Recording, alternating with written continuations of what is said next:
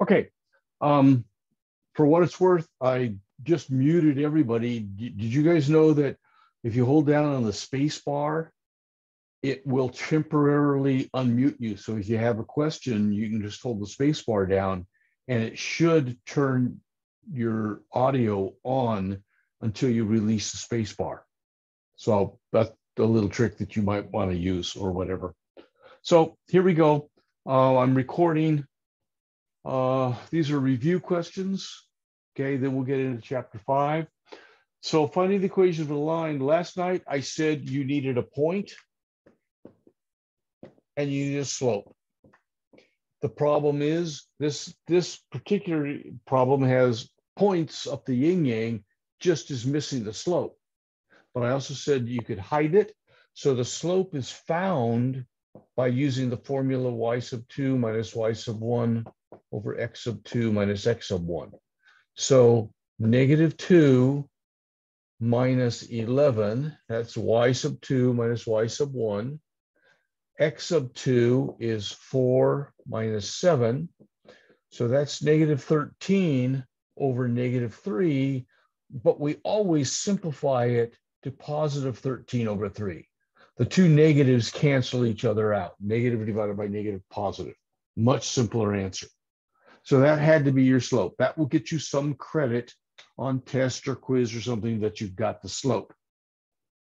Okay, now we have to decide, okay, which point I'm going to use. Okay, I am going to uh, uh, use that one simply because it's positive numbers. Okay, that's the only reason. You could also use that one, and your argument could be because they're smaller numbers. That's fine we should, in the end, get the same answer. Okay, but I'm going to use that one. To use it, we start back with this formula again, y equals mx plus b, and we plug in everything we know. Well, we know the y value, that's 11. We know the slope is 13 over 3. We know the x value, that's 7, but we don't know the b value. So we just plugged in everything we knew. Now it comes down to um, how well you know how to do fractions or, or how well you know how to use your calculator, because this is just flat out ugly.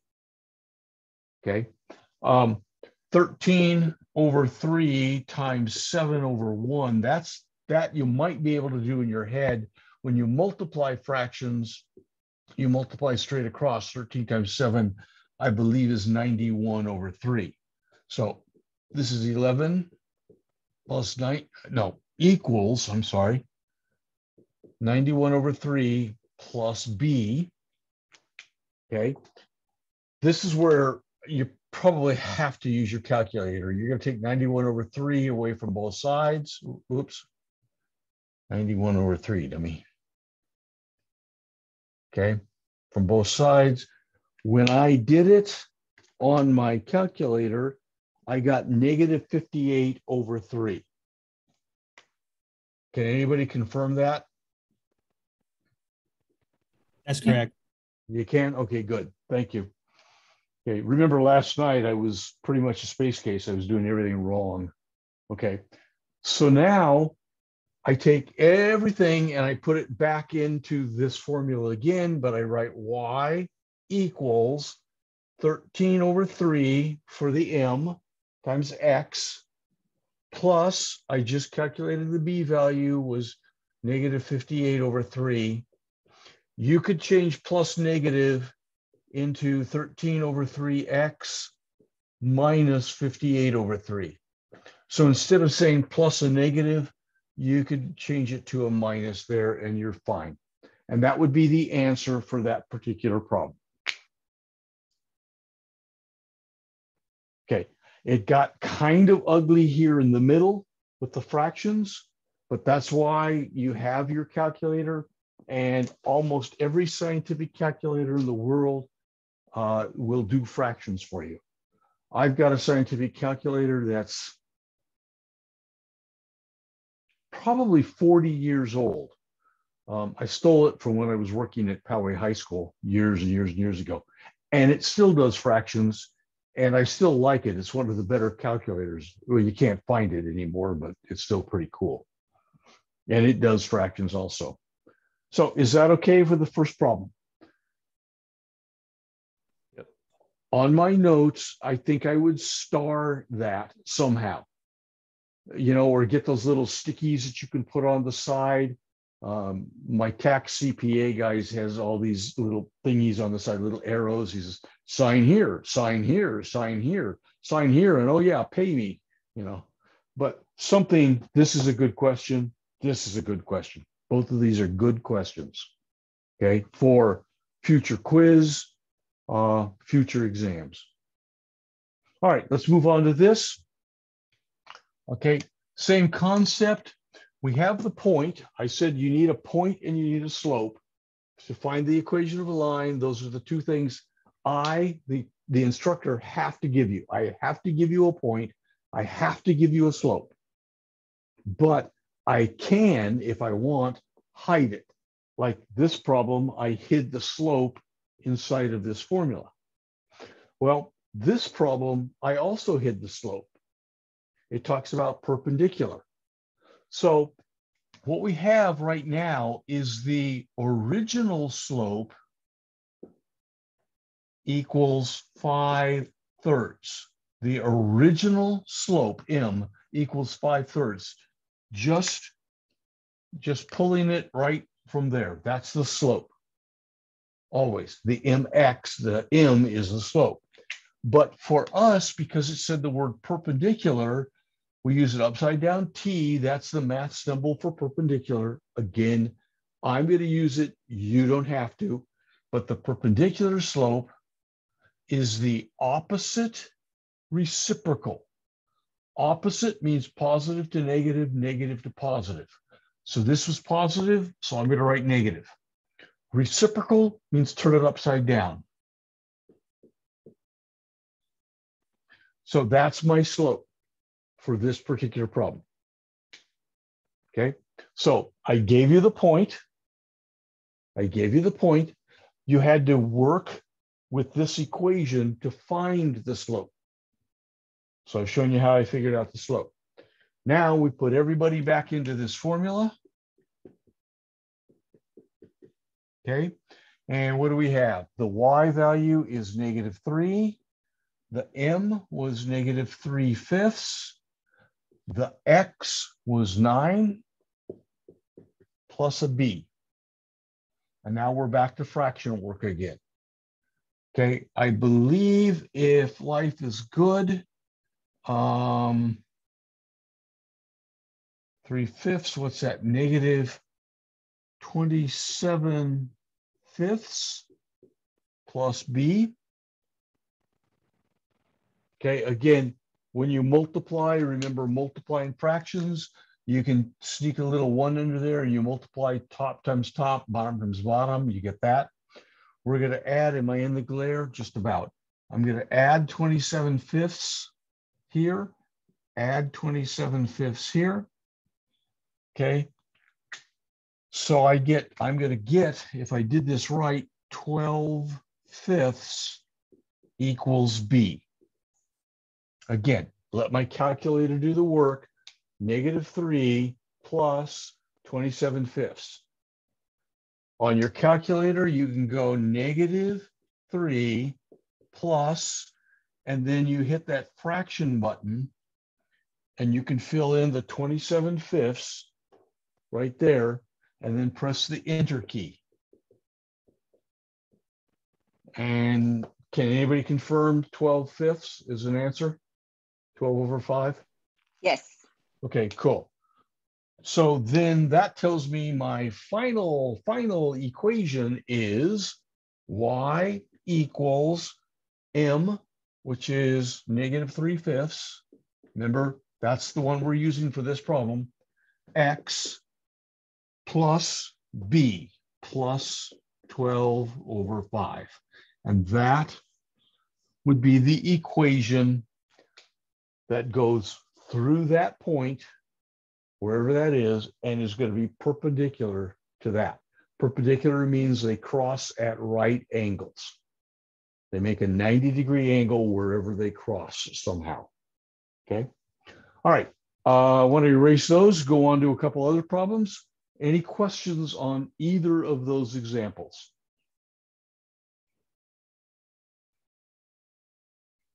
Okay. I don't hear anybody yelling at me. Uh, I'm going to erase the entire board. Recall tomorrow night. Uh oh, somebody's yelling No, at me no. now. No, no, just Okay.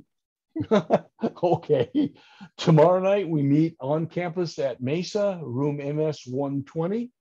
Okay. Please be sure to bring a mask, not a face shield. It's got to be one of those stupid masks and some paper and pencil, of course. Okay. You can have water, a water bottle, um, either the pop up lid or your own sports bottle or whatever. Okay. And like I said last night, you're more than welcome to leave the classroom, go outside, stand up, stretch. If you have something to eat outside, not in the classroom. Okay. All right, here we go. A couple more problems.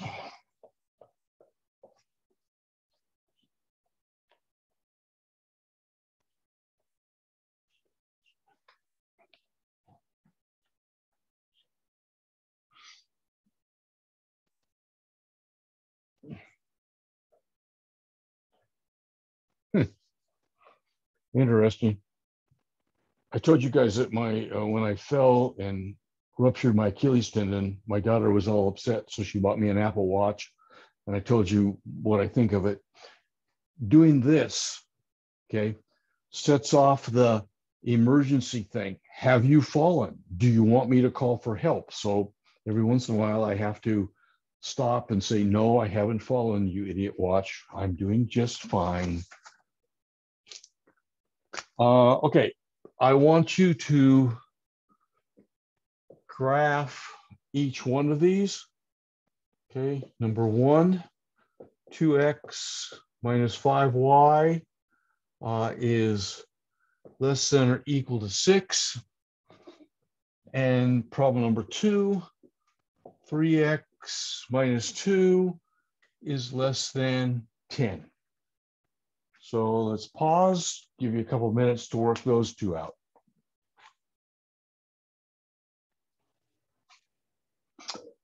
Okay. Um, to graph this, what we, what I said last night was to think that this is actually an equation. For just a second, pretend it's an equation, y equals 2x minus 5. Now, I want to do this not wrong. I'm not going to do it wrong, but, or at least I hope I'm not, but I want to show you wrong thinking. Okay. Several people said, oh, well, look, what if I take away 2x, so I get negative 5y equals negative 2x plus 6. That's correct because you can take away 2x from both sides. You can divide both sides by negative 5. So I get y equals negative 2 over negative 5x plus 6 over negative 5. And if we clean that up, we get y equals 2 fifths x, okay, minus 6 fifths. And now the question I ask you that I've done nothing wrong. This is legitimate. You can do this. But question, if you're going to start at negative 6 fifths, how do you use rise over run from a fraction? Rise over run is great. If this had been y equals 2 fifths x, uh, you know, minus 3, that's great because you can find 3 and you go up 2 over 5. But how do you do it accurately or semi-accurately when you start at negative 6 fifths, which is negative 1 and one fifth, and go up two and over 5? So I'm encouraging you guys, this is not a wrong way.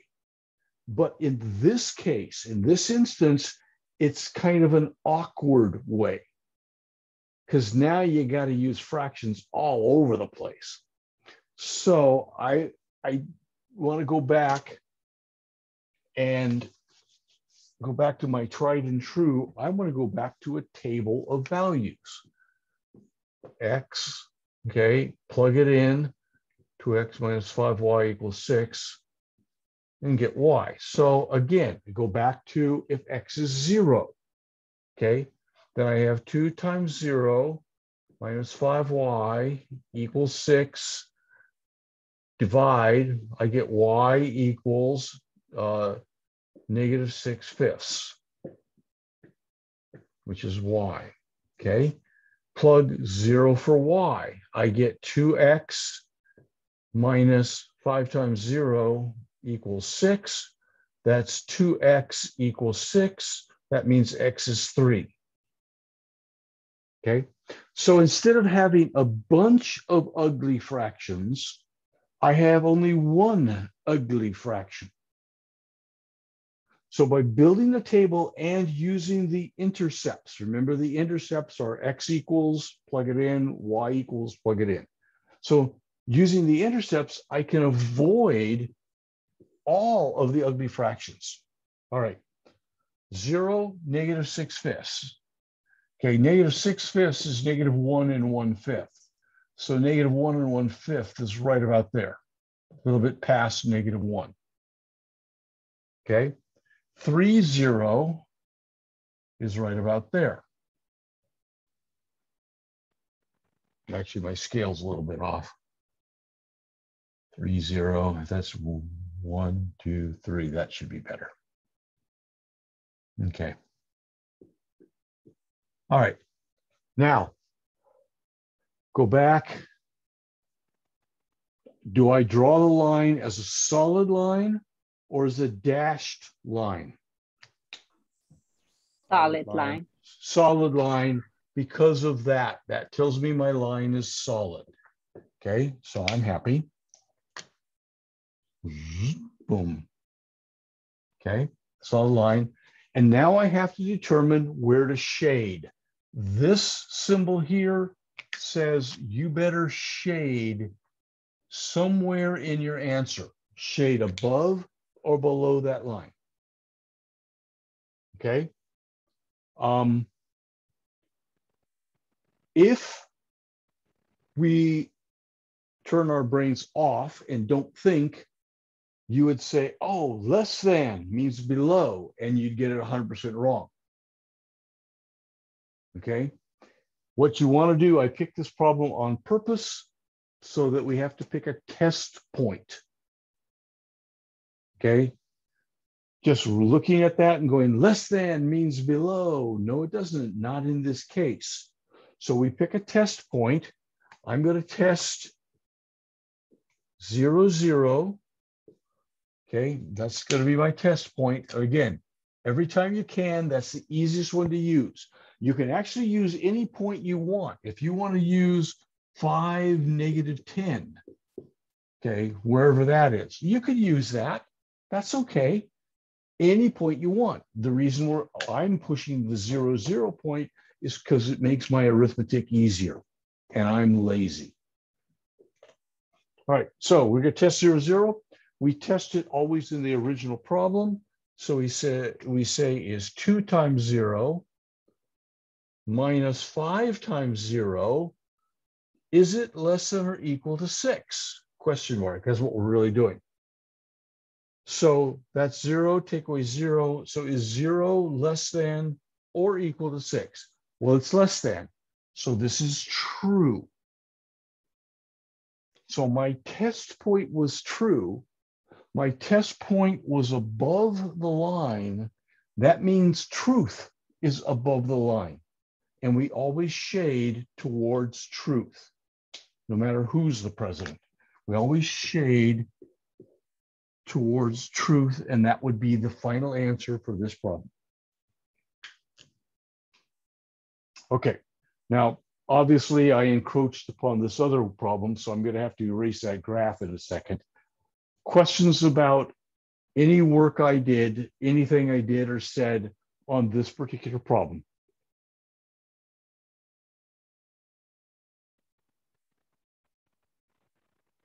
Okay, I don't hear anybody yelling. So I need to erase this graph. Um, I'll keep my work up here for a second. All right. Moving to this one. Okay. I see it's it has no y value. That means it's a trick. Okay. And so you can write something like, damn you, Foster, whatever. Yes, I will put these on tests and quizzes because I want to see, can you pick up the, the, the non-normal things? Okay, and do you know how to deal with them? So the first thing I'm going to do back here, 3x minus 2 equals 10. Pretend that it's an equal. Add 2 to both sides, so I get 3x equals 12. Divide by 3, I get x equals 4. All right, so how do I graph that? Again, several of you have indicated to me, can I just, if I know that it's um, a vertical line, can I just graph it? Yes, you can. Okay. But if you're not sure, I want to keep going over what you need to be thinking. Okay. This is saying X is locked in at four and Y can be anything at all. In fact, Y, y can be anything because they left it off of there. It's unimportant. Y could be zero. Y could be negative two. Y could be seven. It doesn't matter. So if we graph that, okay, we go four, zero. There's that. Four, negative two is right there. Four, seven is somewhere up there. I don't know. By the way, I should point out, if you guys don't like my sketches. Okay. You feel uncomfortable on your homework, just kind of faking some of the sketches. Um, it might be worthwhile to uh, get a pad of graph paper. Uh, don't pay a whole lot. Staples. I don't know if they have it in the bookstore. I don't know. But if you get a pad of graph paper, get something that's like a one quarter inch. That's good enough for everything. Okay. And that might be useful, but that's not a requirement. A reasonable sketch is all I'm ever going to ask you to make. Okay. If I wanted perfection, I would have had you guys buy a graphing calculator for 120 bucks. Okay. And besides which, in a little bit, I'll show you how to do it all online also. All right. So now we're back here. Those are my points. I need to draw a line what kind of line do I draw through them? Dotted line. Dotted line, because up here it's not equal. So I come here dotted. Boom, boom, boom, boom, boom, boom, boom, boom, boom, boom, boom, boom, boom, boom, boom. Okay. Now I still have to shade. I still have to shade somehow. Okay.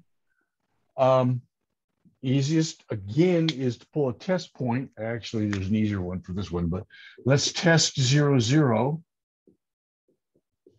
Okay, so I plug it in. I plug in zero for X minus two is less than 10. There is no Y to plug in. Okay, so I get zero take away two. I get negative two is less than 10. Hey, that's true. So my test point was right there. It was true. That means everything to the left of the line is true. So I shade back here and we're done and that's the end of it.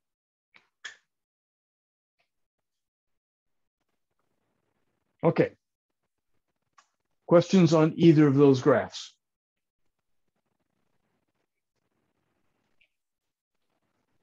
I have three more little baby problems, and then we get to chapter five. Three more review problems. Any questions on those? Uh, just to be sure again, uh, So the y can be anything. On when it when it says x equals four, then the y x is locked at four, y can be anything. If it had said, if we had done some other problem and it said y equals negative two, now you're going back to your table, y is locked in at negative two, and x can be anything. Okay? Does, does that, is that okay with you or not? Yeah, that makes sense. Okay. All right. Anybody else? Can I erase the whole thing? No one's gonna scream at me? Okay.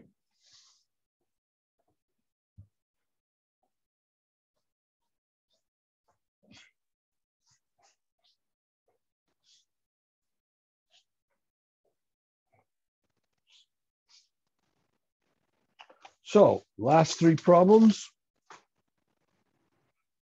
Um, okay. Uh, for number one and number two, I want you to state the domain and range.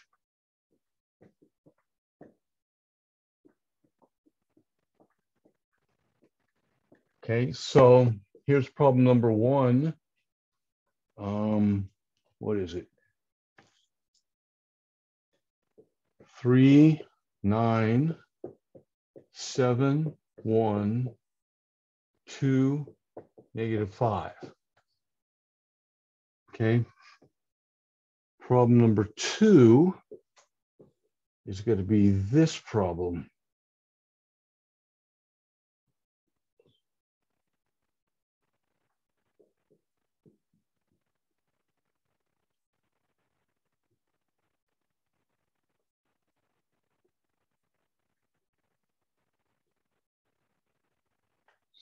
So problem number two, I'm concerned with the triangle. I want the domain and range of the shape that the triangle is outlining. And problem number three, this is the last one,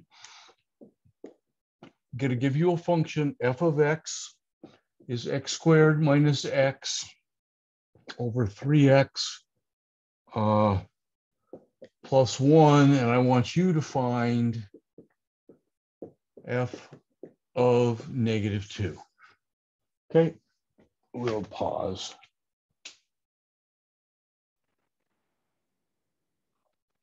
Okie dokie. Um, all right. Domain and range. Domain stands for all possible x values. So in this problem, the domain is three, seven, and whoops, two.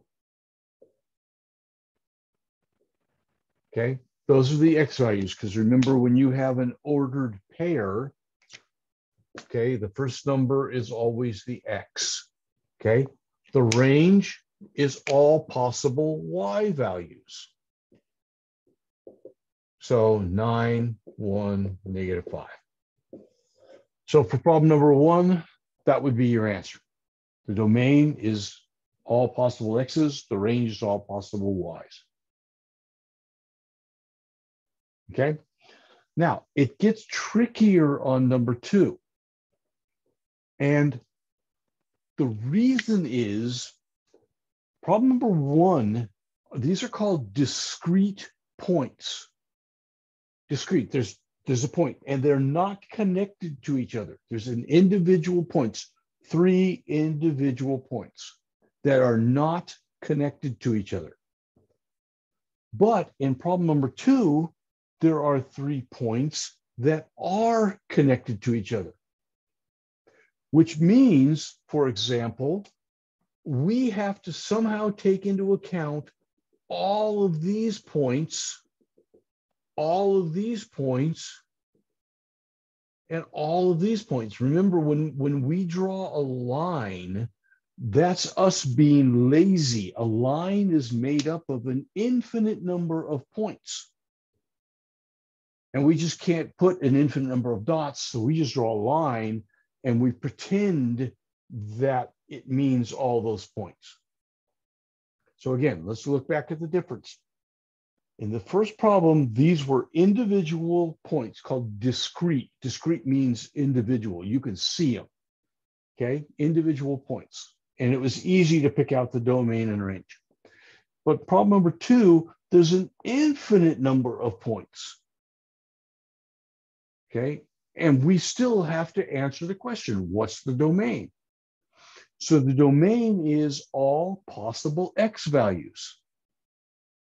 One of the things I personally like to do, because I like to make funny noises, is I like to ask myself, okay, if I squish this graph, okay, see, there's my funny noises.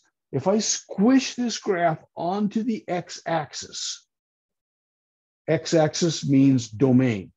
So if I squish down and squish up, everything from here to here would be covered up, would be squished into that. These would squish down, these would squish up. And so because of that, the domain is negative three to five with brackets. Everything on the x-axis from negative three up to five would be used in, in drawing this uh, shape for x's. Now, we use a similar argument if I wanted to squish this onto the y-axis. Okay, squish it onto the y-axis. So this goes over here, this goes over here. What got covered up? everything from from two down here to four. I don't, again, I'm not sure the blue shows up very well. Okay, it doesn't. But from uh, negative four, I'm sorry. So from negative four up to two, so the range is negative four to two. And you need to use this interval notation because it implies I, my domain starts at negative three and includes all the fractions and decimals and square roots and everybody up to five. That's what interval notation implies. Negative three is my start and everything up to five, all fractions decimals. All right, is that okay with everybody? Domain, range. Same concept, two different pictures. All right. Moving on to number three. Okay. Uh, f of x is a function. Okay. f of 2 just means plug a negative 2 into that function in place of the x's. So if we do that, we have negative 2 quantity squared minus negative 2 over 3 times negative 2 plus 1. Look at all the negatives. And yes, when I give a quiz or a test on this, yes, it will have negatives there. So that's why I use the parentheses. They help me keep track of the negatives okay, and what to do with them. So for example, negative two squared is positive four. Negative two, the whole quantity squared means negative two times itself. Negative two times negative two is positive four. If you did it on your calculator, you probably did it wrong. Okay, the answer is positive four. Again, minus a minus becomes plus 2. So negative 2 squared is 4 minus a negative is plus 2. This is negative 6 plus 1. 3 times negative 2.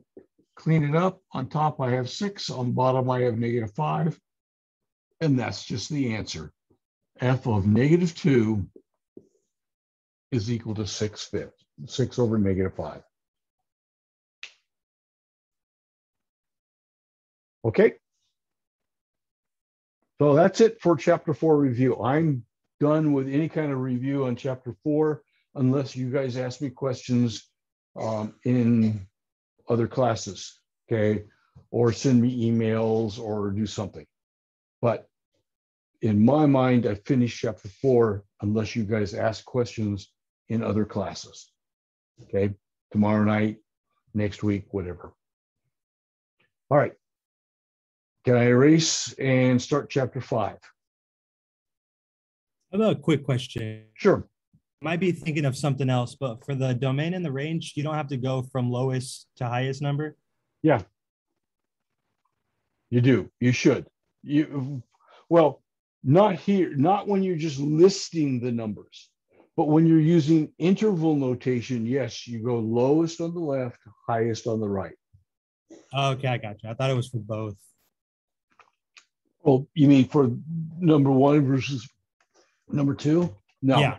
Here, when you're just, if you have the opportunity to just list them, then you throw them in any old way you want. But if you have to use interval notation, then the correct format is low, comma, high. Low on the left. Okay. Good question. Good clarifying question. Anybody else?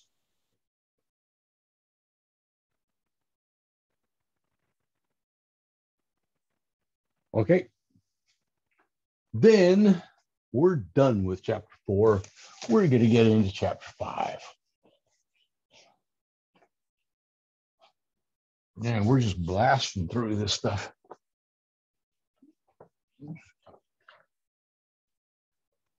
Okay. Um,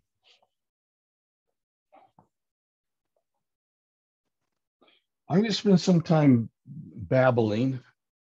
Um, I'm not sure you need to take notes quite yet, um, but I'm not sure when to tell you to start or stop. So I, I, I don't know. That's kind of a stupid statement I just made.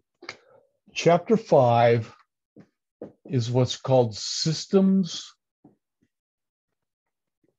of equations. And they're about two or more equations with two or more variables. Now, we have been studying one equation, okay? 2x plus 3y equals 6. That, that was called a linear equation, one equation with two variables. Okay. Now we're going to look at something called a system of equations. And it would be two equations, maybe y equals 1 half x minus 7. And we'll tie them together with a single brace. Now, some books do and some books don't use a brace out here to indicate that those two are together. But pretty much you could tell by reading in context that these two are together. Okay, they're part of one big problem. The problem has two different equations, but it's one big giant problem. And ultimately, what we're looking for is where do the lines cross? That is what we want. Where do the lines cross? Okay. And we know from graphing, from chapter four graphing, we know that a line goes on forever and ever. And we know they have positive and negative slopes. Okay. And we want to know where does this line going somewhere and this line going somewhere else, where do they cross? What ordered pair? Ordered pair. okay? Because if you think about it, if we take one line going this way, and I'm just making this up, okay? Here's a line going this way. We'll call this line number one. And let's take another line going this way. We'll call this line number two. Then they cross here. Okay, that's the answer. The answer is this ordered pair, which is always, I'm making this up, let's call that four comma one. So the solution for this problem would be four comma one. That's what we're looking for. Now, that is not the correct picture or correct graph for this. It's not the correct answer. It's not nothing, but it's an idea. This is an example of a system, two equations with two variables. Okay. We want to know where do the lines cross. So we're going to graph them. Okay. And we're going to be, this time we have to be kind of careful in our graphs. We can't be as sloppy as we were because we want to know where do those suckers cross and they cross at an or, ordered pair, a point, so that they, they need the parentheses. But remember, we talked about earlier in chapter two, the answer to all equations is the solution set. Okay, and I'll go over that, don't panic. But the key is, did you get this ordered pair? That's what I wanted to see. Did you get where they crossed? So that's just kind of a, um, a real brief overview, okay, of what we're going to do. One of the things that mom is going to ask at the beginning is she's going to give you a system. And by the way, I should point out, I believe the chapter five homework is open. I think it's been open for a day or two. I just forgot to tell you guys. Several of you are still working on chapter four, which is fine, but now chapter five is also open.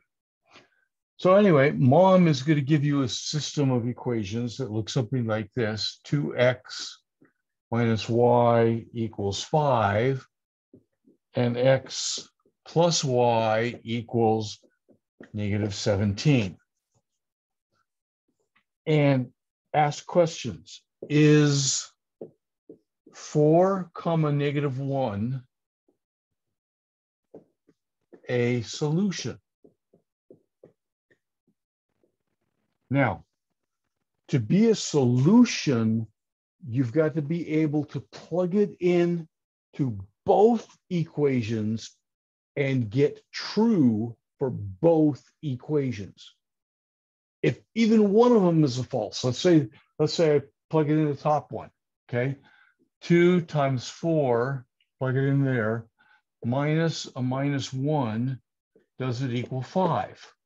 That's 8 plus 1. No way it equals 5. Okay, so by taking that, I plugged it in the top one, it failed. Is this a solution? No. Okay, it's that easy. Okay, what if we went to another one? Is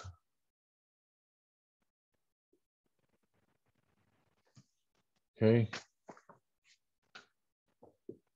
is negative 4 comma negative 13 a solution? Question mark. Okay, negative 4, negative 13. Well, again, is it a solution?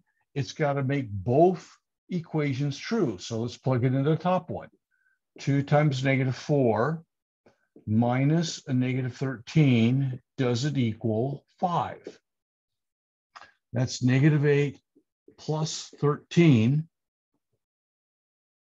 Okay, again, it comes back to arithmetic and PEMDAS. Does it equal 5? Well, yes, but that's not good enough. It's yes for one of them, but it's got to be yes for both of them because this is where they both cross. Remember, a line has an infinite number of places that make it true. And we want to find one of those, but we want to find the one place that makes both of them true at the same time. So we plug it into the bottom one.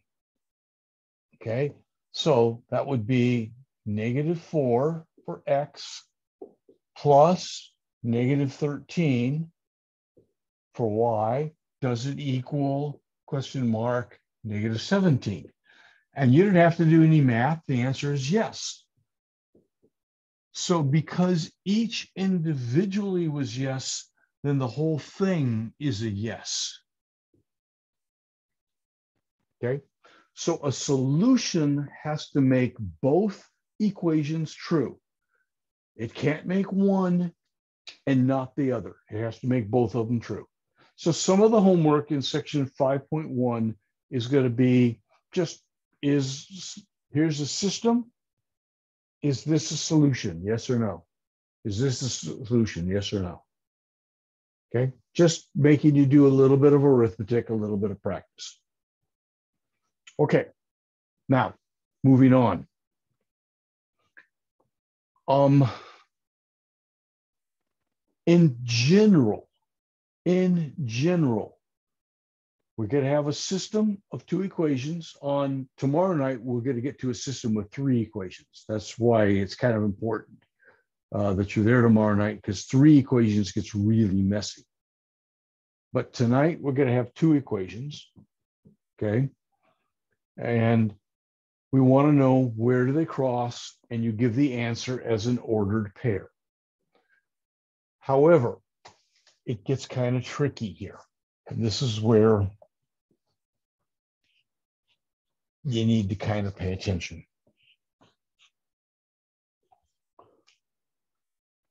So for a system, there are three possible situations. And that means there are three possible types of answers.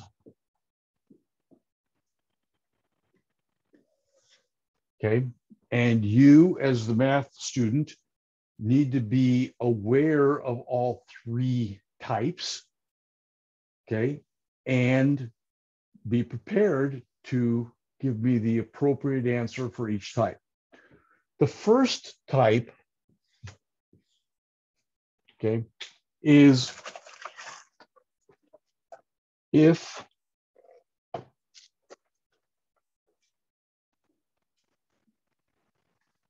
if your two lines so if we take this line, call that line one, and we take this line and call that line two, okay, if they just cross at a normal point, just they cross, okay, then the answer is this point right here, and you do it as a solution set of whatever that ordered pair is, uh, one comma three or whatever. Where they cross is the answer. Okay, that's one situation. A different situation. What if you have a line going like this, and you have a different line going like this. Here's line two. In other words, in this situation, the two lines are parallel. They don't cross. But I want to know where they cross. So if they don't cross at all, then the answer is there is no solution. Or I prefer that symbol, whichever. There's no solution. Remember, and I erased it up here, and it's kind of important. Ultimately, we're looking for where do the lines cross? That's what we want. In the back of your mind, you're thinking, where do they cross? Where do they cross? That's the answer. If they cross at a single point, you go, yay. And then you give me the ordered pair, whatever it was. But if they don't cross, then there can't be an answer. Okay, so how do you indicate there is no answer to this problem? You either write the words no solution or the empty set like that. Okay, you guys with me so far? Okay. The third situation is kind of wacko.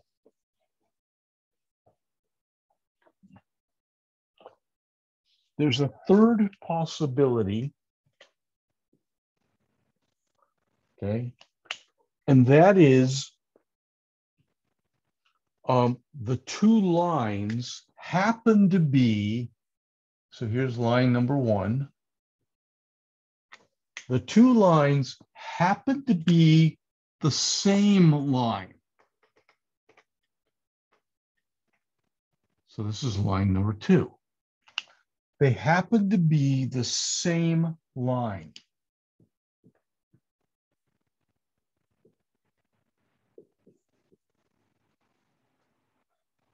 Okay. Now, this is kind of weird, so please hang with me for a minute. This means they're crossing an infinite number of times. There's an infinite number of solutions. Infinite crosses. Because essentially they're right on top of each other. Okay. So they're they're making infinite number of touches, crosses. So in math, there is a weird way that we indicate this. And yes, mom uses this. Sometimes she uses the word infinite. But sometimes I gotta I gotta tell you a little bit about mom. Okay. Uh, mom is this software program that this guy wrote and he asked people to send in their favorite questions. He, he said, okay, this is the software I'm going to use. This is the programming language I'm going to use. And I'm going to make this free to everybody. But I need people to write problems for me, to write homework problems, okay, to write quizzes and stuff like this. And so hundreds of teachers gave him they they said okay there's your programming language i'll follow your programming language and i'll give you all of these problems because they really liked his idea of making a free homework uh, program and possible quizzing program and therefore hundreds of teachers gave information but that means one question might be worded slightly differently because a hundred different teachers have a slightly different way of saying it. So some teachers might want you to write no solution. Others might want you to write the empty set, the set that is empty. That's like, um, what was it for for undefined slope? Okay, you're supposed to say undefined, but some teachers use the words DNE, does not exist. And that's because everything we're seeing in MOM has been written by different instructors. They all have the same basic idea, but they're just a little bit different. So some instructors might allow you to say write infinite. You have to read the directions. Okay. But the proper way the proper way as you move up in math is going to be this. You put the solution set of a, and you put x comma y bar, and then you pick one of the equations. 3x plus 2y equals 5. Okay.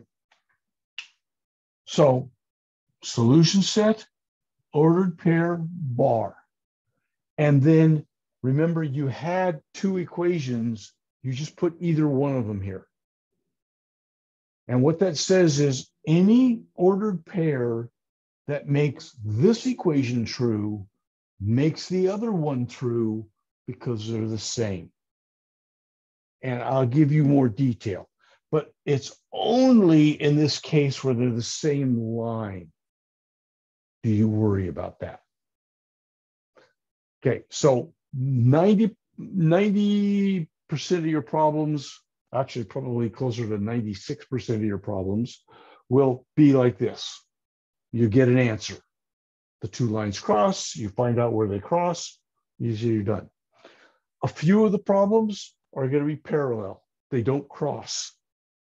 So you say there's no solution or there's empty set or something. A few more are going to be tricks that are the, actually the same line. Okay, they're on top of each other. When you, if you graph them, they'd be on top of each other. So they're the same line, in which case they have an infinite number of crossings. Sometimes some of the questions will say write infinite. Others will say use this format. Okay, and again, the format is parentheses, ordered pair, x comma y, bar, and then you just throw in one of the equations, whichever one your problem had. Okay, what time is it? 7.40. Let's take about a three minute break. Okay, I'll pause. We'll take about a three minute break, come back and do P. Um, can you guys hear me? Because my headphone did something weird. Yes. Okay, good. All right. So on exam number one, I'm going to say solve by graphing. Okay. And you may think you know a better way, but I want you to use graphing to solve this.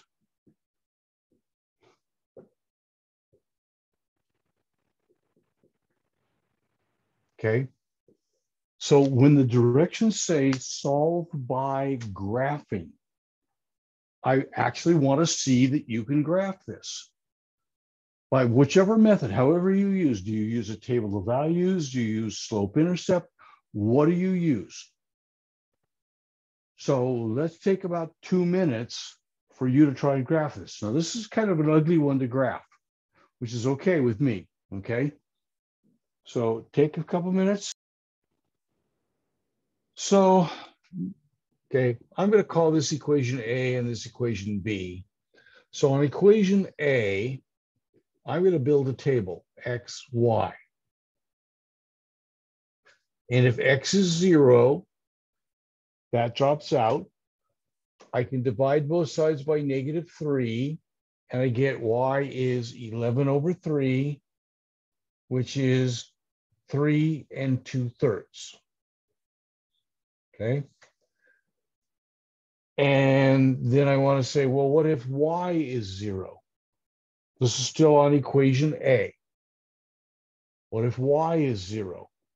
Then this part drops out. And I get 2x equals negative 11, x equals negative 11 over 2, which is also negative 5 and a half. You have your calculator, you can do that. So we can graph this. Now we have to be reasonably careful. When x is zero, y is three and two thirds, almost four. One, two, three, four. When x is zero, y is oh, right about there, three and two thirds. When x is negative five and a half, y is zero. Negative five and a half. Well, here's one, two, three, four, five, six. So negative five and a half is right about there. Okay, comma zero. So this is the line. Now, it is common that you put the equation of the line next to the line that you just graphed. We didn't do it in chapter four because there's only one line there. Okay, but now we have two, and tomorrow night we'll worry about three lines. Oh my God. Okay. So to keep track so that the reader, that's me, the instructor who's trying to grade your paper, so I know that you think this line, this is the equation for this line. That's fine. Now we go to the other line, line B. And again, I personally am going to use an XY table in line B. If X is zero, then that drops out, divide by negative four, we have Y is positive three fourths. If Y is zero, if Y is zero, that drops out and we get X is negative three. Okay, so we graph this. When X is zero, Y is three fourths. Yeah, kind of like there. When X is negative three, Y is zero. Kind of like there. Okay, so when I connect these dots, yo, okay, put the equation here, x minus 4y equals negative 3. Okay. In my picture, in my picture, where is the answer? How do I find the answer? Nobody knows? So where it crosses? Where it crosses, yeah. So let's assume, okay, what does my picture imply the answer might be if I graph this somewhat accurately? Negative seven, negative four. Okay, negative seven, negative one. That's a good answer. I think it's negative seven, negative one. Okay, how do I know I'm right? Put an x and a y back to the equation. Back into both equations. Okay, because it might make this one true and fail in this one. I don't know. Uh, what, what do you guys think it is? Does it check or not? Yes, it's checked. Does it here real quick? I think it is. I think negative seven, negative 14 plus three is negative 11 and negative seven plus four is negative three. Yes, it checks in both. Okay, checks both. So my actual answer is this. Okay, Excuse me, Professor, where did you get the minus seven, negative seven, negative one? somebody told me. We guessed at this drawing. Remember, this was uh, this was negative, uh, was it, five and a half? So negative five and a half, that's negative six. Looks like negative seven is right about there. Okay, and it looks like it went down one. So we guessed at negative seven, negative one. Just a guess. Okay, that you should be really upset with that. Yes. yeah, okay. Question to everybody. Name something that's bad about the graphing method.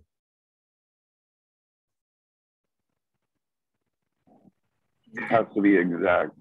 Okay, it Too much better work. be, oh, too much work. Okay, and okay, if you're the slightest bit off, you're going to get it screwed up. Okay, and what if your answer was actually a decimal? How would you know? Okay, and it's slow. It's really, really slow. Okay, so the graphing method is really good for visual representation. It's good to see this is what the this is what the problem looks like, but it's terrible when you're trying to actually do a problem and get an answer and do it fast. Okay, and what if the answer is a fraction or a decimal? Graphing is horrible for that. However, on the exam number one, which is coming up in a couple of weeks, I will have a problem that says solve by graphing. So I would want to see this kind of work. I promise you that I will make sure that it does not have fractional or decimal answers. When I do one and I say solve by graphing, it will not have fractions. Okay, it'll just have whole numbers there for you. So it'll be easy for you to check. Okay, so the reason I did this was number one, I wanted to review, okay, this is how you graph and you find where they cross. But number two is I want to point out how terrible the graphing method is. It's slow, it's hard, it's not accurate at all. Thus the question, uh, where'd I get negative seven, negative one? Well, I don't know, I guessed. Okay, so there are better ways. And that's what we're going to discuss the remainder of the night. The better, more algebra ways to solve this problem. The better ways. Okay? Graphing, we're all agreed. I am going to test it, but we're all agreed it's re- it really sucks. It's bad. But I want to know do you know how to do it? Okay? So let's try a new method. And the new method, the first method I'm going to show you is called substitution. Okay. Substitution, you, okay, first you pick one equation and you isolate a variable.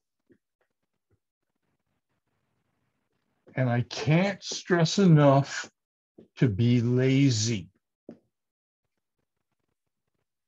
Okay, isolate a variable, which I can't spell properly, B-L-E, good English, idiot. Okay, okay. Isolate a variable means get a variable by itself. Okay, get a variable by itself. So I'm giving you all kinds of leeway here in this problem. Pick an equation, eeny, meeny, miny, mo, but get a variable by itself. Which equation would it be easiest to get a variable by itself? What do you guys think? X minus 4y. Uh, Yeah, it looks like B, equation B, x minus 4y. It's easy to get x by itself by adding 4y to both sides. That's the lazy way to do this. That's the thinking way. Pick a pick an equation, isolate a variable. Okay. Plug into other, really important, other equation and solve. Third, they call it back substitution.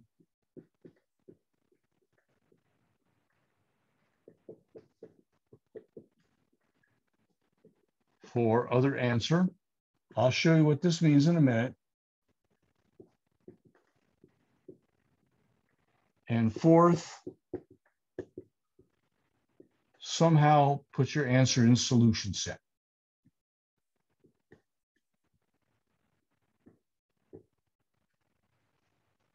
Okay, so I'm going to walk you through it and then we'll do a couple. And then we'll talk about another method. Okay. So we're using what's called the substitution method. We pick one equation, isolate a variable. So a couple people said, let's take equation B, which is x minus 4y equals negative 3, and let's get x alone. So we get to add 4y to both sides. So we have x equals 4y minus 3. Now, we plug this into the other equation. Okay, and this, you, guys kind of have to watch me point at the board here. Okay, this says x is the same as, remember an equal sign means is the same as. x is the same as this. So I am going to put this mess in the other equation in place of x. I'm going to substitute, hence the name, substitution.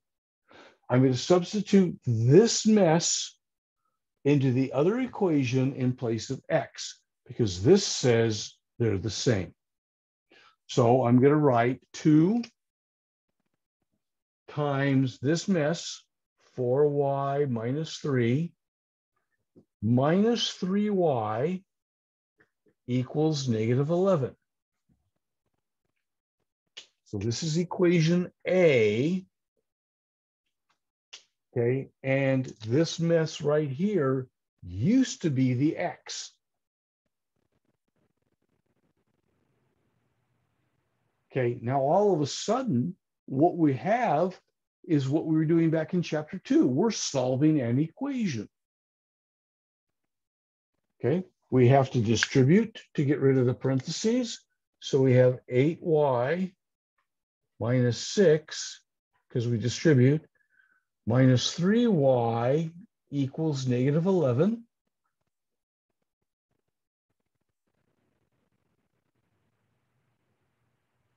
Okay. Combined like terms, I'll come up here. So I have 5y minus 6 equals negative 11. Add 6 to both sides, so 5y equals negative 5. Divide both sides by 5, y is negative 1.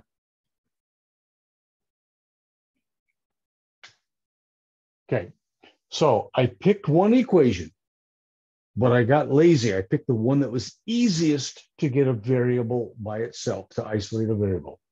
I plugged it into the other equation.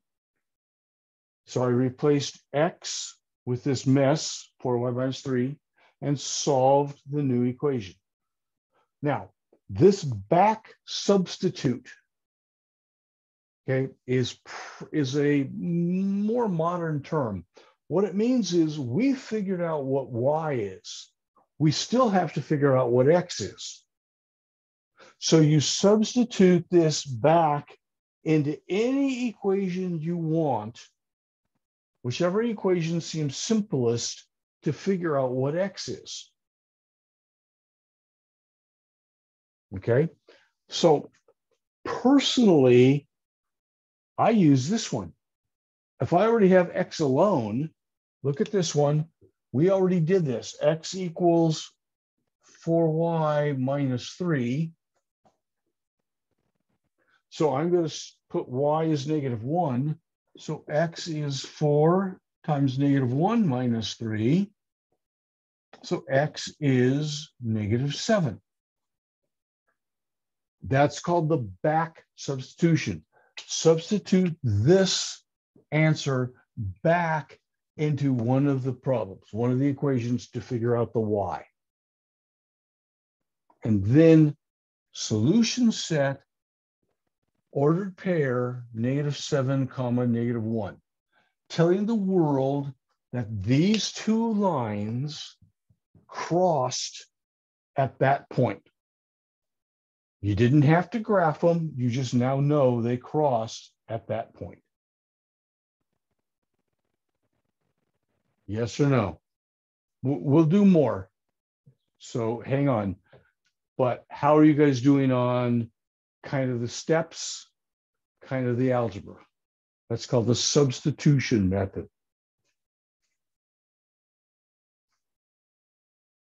Okay, you guys want to do another one? Where did you get negative seven? Okay. Are you happy with where I got y is negative one? Yeah. Okay, you're there. Okay, good. Then I take this, y is negative one, and I plug it back into one of these equations. Pick, pick Okay, one. got- it. Yeah. And I just happened to pick that one. If you'd picked any of the other ones, and assuming you didn't make an arithmetic mistake, we would have all gotten the same answer. Got it. Okay. Sure. Anybody else?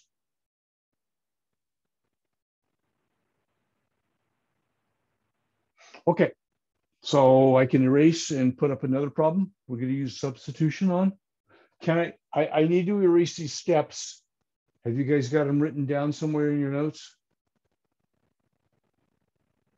Anybody still writing them? All right, I don't hear any yelling. I'm gonna hear yelling as soon as I erase.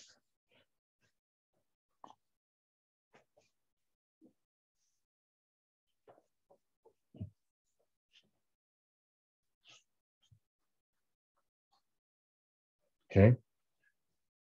Try this one. Hmm. Again, this time I want you to use the substitution method. Okay. And here's our system. First equation is y equals x minus 2. Second equation is negative 6x plus 3y equals negative 9. Okay, so let's pause and have you guys go at it.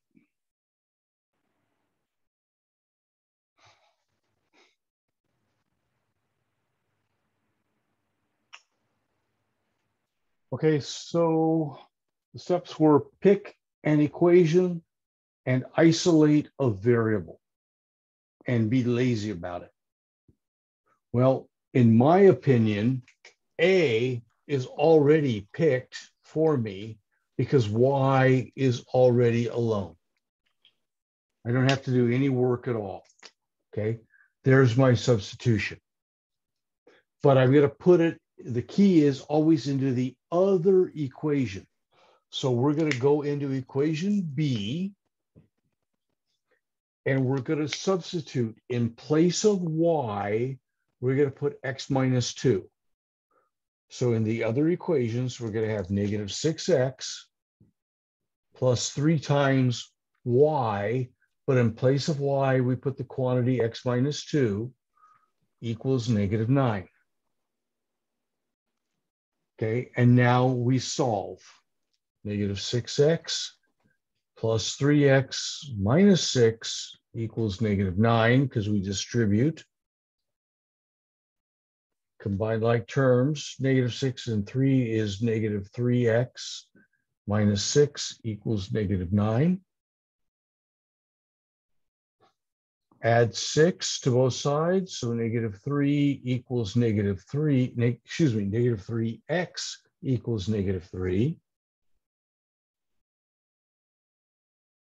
Divide by negative 3, x is 1.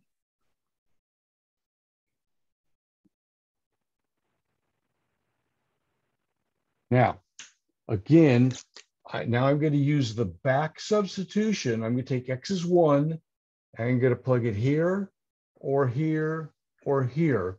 Well, those two are the same, okay, because we didn't change anybody.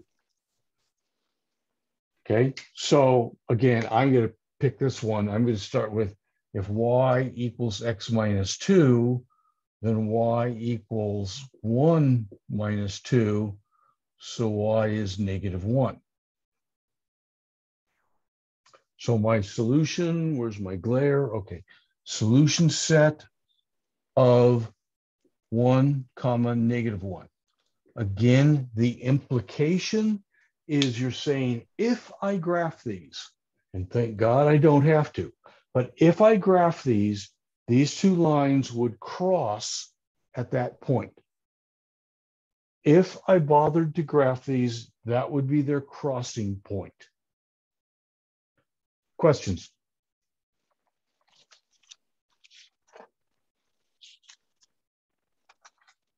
Okay. Then I want to move on to the last topic of the night. And we may get out here 8:30, 8:35, which is cool. Okay, be sure there's no questions on substitution.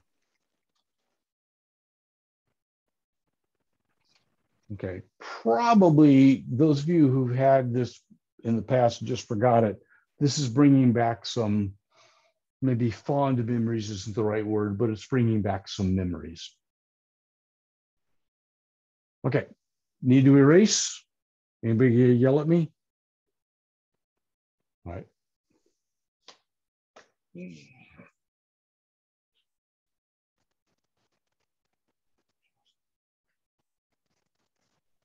Then the other technique, okay, uh, I should go back for your notes. Take a second. In chapter 5.1, we solve by graphing. So in your notes, you might want to go back and label that. Chapter 5.2, I was not very good about this. What it's solved by substitution. So go back and you might want to put those headings in your notes. You can tell where we started by when we started 5.1, that was all the graphing and all that crap. As soon as we moved into substitution, that was section 5.2. And now we're going to do 5.3. Is solve by what's called elimination.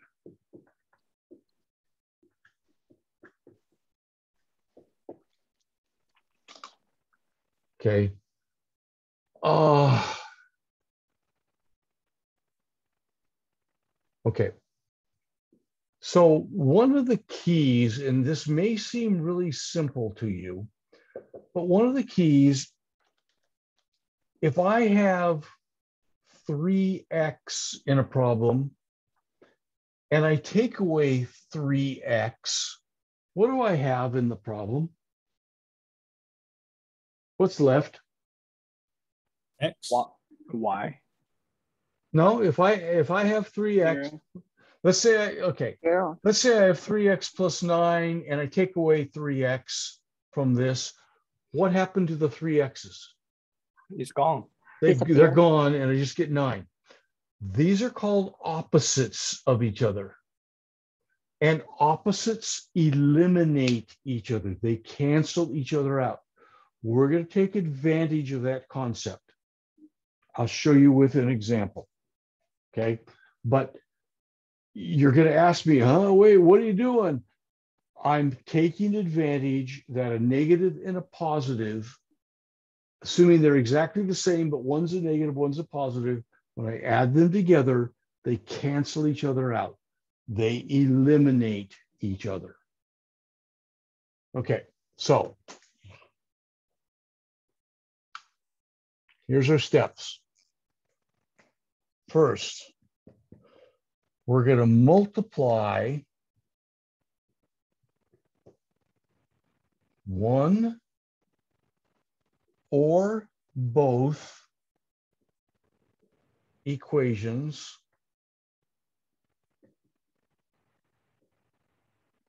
by, you're not going to like this one, a magic number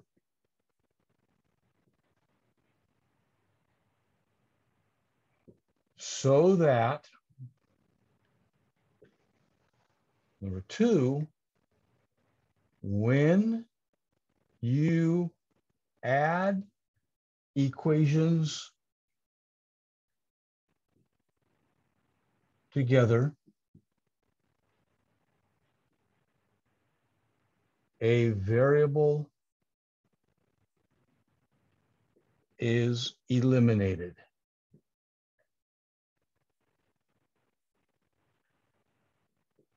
Just write it down. I'll explain to you, especially what the heck a magic number is. I'll get there. Third, you're going to solve. You're going to back substitute.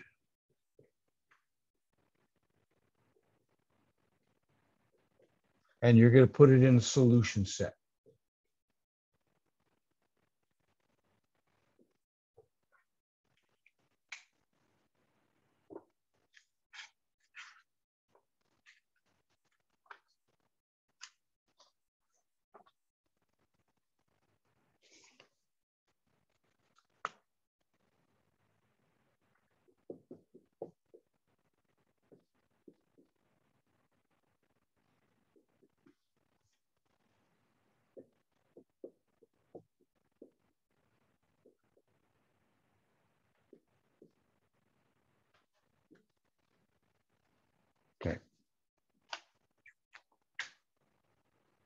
All right.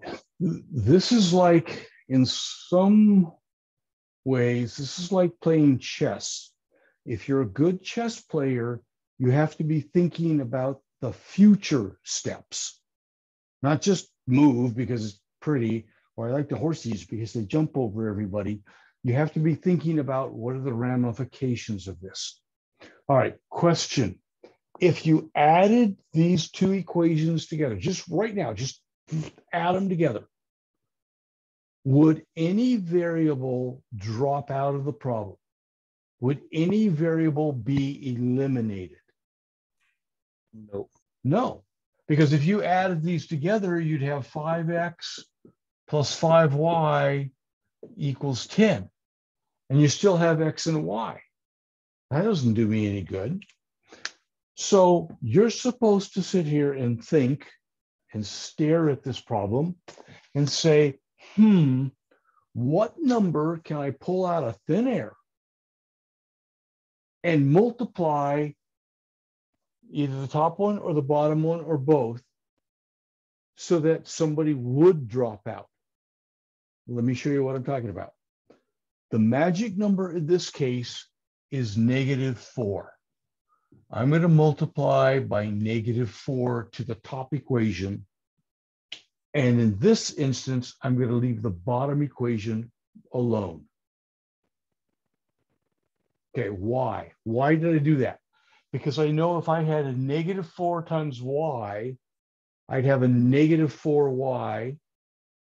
And if I add it with a positive 4y, my y's will be eliminated. That's the whole game.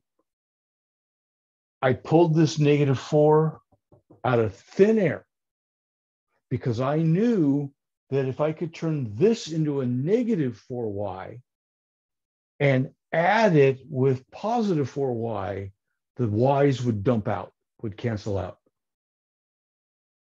Okay, so there's my magic number. And this time, by the way, I only had to work on one of the equations, not both of them. So let's see what happens. So if I multiply this by negative 4, I get negative 8x minus 4y equals negative 24. That was the top equation. Negative 4 times 2 is negative 8x.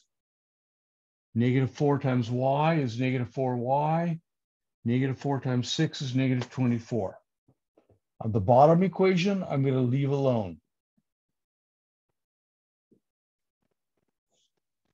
Now I want to add these together. If life is good, when I add them together, I should have eliminated a variable. And I did. My y's canceled each other out because one's a positive and one's a negative. Does that one should be 5x, negative five x? It's five X. Oh, yeah, okay. Is that what I heard all kinds of people telling me? Thank you. Is that better? There's another question that was not that, but is that okay? Thank you. Okay. It is hard to talk and write and think at the same time. Okay. So Now I'm, I've done that. So now I can go ahead and solve. I divide by negative five. So that gives me x equals four. Negative 20 divided by negative five is four. Okay, now we do the back substitute again. I got x, I got to put it in here. Okay, one of those two. Take your pick, it doesn't matter. Whichever one seems easier. I don't know. Bottom one, I guess. I don't know. So I'll, I'll put it in the bottom one. So that's going to be three times four. I'm sticking it in the bottom one. Plus 4y equals four. So I stuck x into the bottom equation. That's the back substitution. I'm substituting x back inside. Okay. So this is 12 plus 4y equals 4. Take away 12 from both sides. That gives me 4y equals negative 8. Divide by 4, y is negative 2. So again, if I had graphed these, and we're all thinking the math gods that we don't have to graph them, okay? If I had graphed these, these two would cross at the point 4 comma negative 2. That's how you put them together into one big fat answer. Okay, so let's go through this. Multiply one or both of the equations by some magic number. Okay, but you just don't pick it randomly. You have to think a step ahead so that when you add the equations together, one of the variables drops out. When you add the equations together, a variable is eliminated.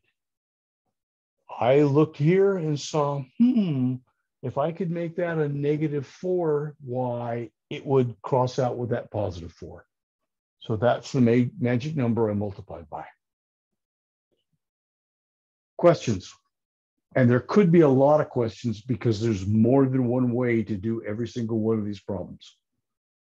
I just showed you the easiest way for this problem.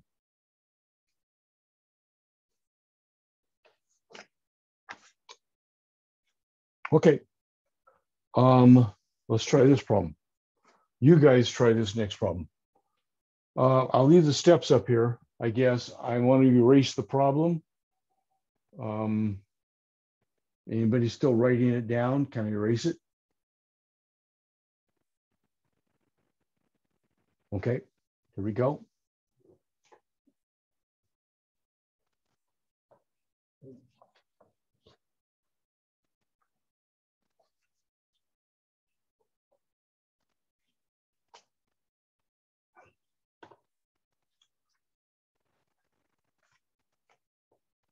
Okay, I want you to solve by elimination this problem. 2x plus 3y equals 17 and 5x plus 7y equals 29. Hint, you're going to have to multiply both equations, the top equation by one number, the bottom equation by a different number. Okay, remember I said multiply one or both of the equations. Okay, so you're going to multiply the top equation by some number. I'll leave it to you to think about it. And the bottom equation by a different number. And there's at least four different ways this problem can be done, and they're all correct. So I'll pause and let you guys think about this for a second. Okay. Um, I'm just going to go ahead and start the problem and explain my reasoning. And maybe that'll clear up some of the questions. I'm going to multiply this top equation by five. Okay, that's going to make this 10x, 6y, and who the heck knows what that is, 85 or something like that. I don't know. I'll figure that one out later. But I'm going to multiply the bottom equation by negative 2. So look what I've just done. That, that's going to become a positive 10x. Look where I'm pointing. That's going to become a positive 10x. That's going to become a negative 10x. And when I add these together, the positive 10x and the negative 10x will cancel each other out. And that's what I wanted. When you add the equations together, a variable is eliminated. Okay. Where did I get the five in the negative two? That's why I call them magic. That's where you have to do some thinking. Okay. You got to ask yourself, what could I multiply by? Now, just to forestall a few questions here, you could have multiplied the top equation by seven and the bottom equation by negative three. And that would have eliminated the y values. And that would have been just as good. Okay, we would eventually get the same answer. Okay, different steps. That's why it's going to be really important on the test or quiz or whatever that you show me your steps, your work. So here I go. Top equation by five. That gives me 10x plus 15y equals, I think that's 85. I'm pretty sure it is. Bottom number by negative 2, that gives me negative 10x minus 14y. Ooh, that's nice. Equals negative 58. 2 times 29 was 58 negative. Again, use your calculator. Don't be a hero. One tiny little dumb mistake here, multiplying, adding, screws up everything. So don't be a hero. Maybe do your work, but maybe double check it on the calculator. All right, add these together. The 10x is canceled out just like I wanted. So I end up with 1y equals, okay, what's 85 take away 58? Okay, 7, 7, 27? 27. 27, good. Okay, so that gives me y is 27. Okay. Now I have to go back substitute. That means I got to take the 27 for y and either put it in that equation or that equation. I could also, by the way, put it in these two. Wouldn't matter, but these are really big, ugly equations and I want to avoid them. I like smaller numbers.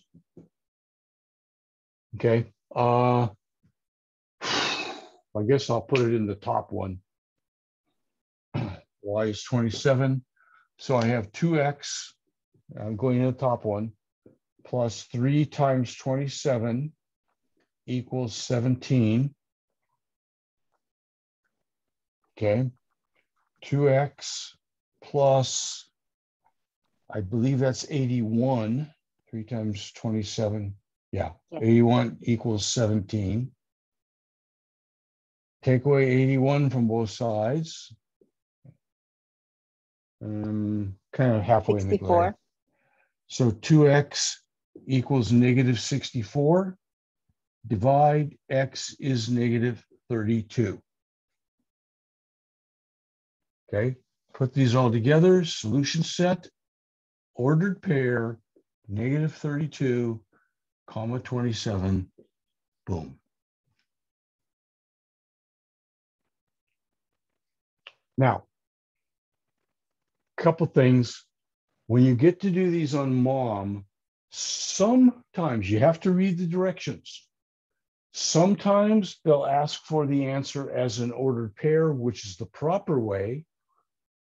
But sometimes they'll just say, okay, y equals, and you put the 27, and then the next line down, x equals, and you put the negative 32. Sometimes they want the X and Y listed separately because it's a software computer program. Okay. Sometimes they want it as an ordered pair. So you have to read the directions. Okay. The proper way as is this ordered pair. But again, like I said, different instructors have written all those questions, so they're kind of weird. All right. How we doing? That's called the addition or the elimination method. Addition elimination is actually its full name. Questions on that one? Okay, what time is it? Uh, yeah, I'll do the rest of it tomorrow night. Okay. See you guys all tomorrow night at Mesa. I'll be there at six o'clock for office hours. Have the room open. You can come in. Again, you can sit around, do nothing. We do have to practice some form of social distancing. Okay, so nobody can dance with anybody else, and you can't actually sit next to each other. Sorry. Um, you can drink in the room, but if you're going to eat, um, go outside. That's all I ask. And I don't have any problems with people going outside. Just get up and go. It's okay with me.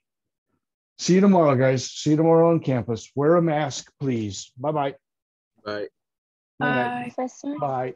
I have a question. Yes. Uh, it's um, just, it is possible that we can have access to your tapes um, after you give the lecture. Uh, Oh. English is English is my second language, and usually it takes me time to um, understand some of your um, explanations. And Yeah. unfortunately, unfortunately, I cannot. Um, I work in a hospital.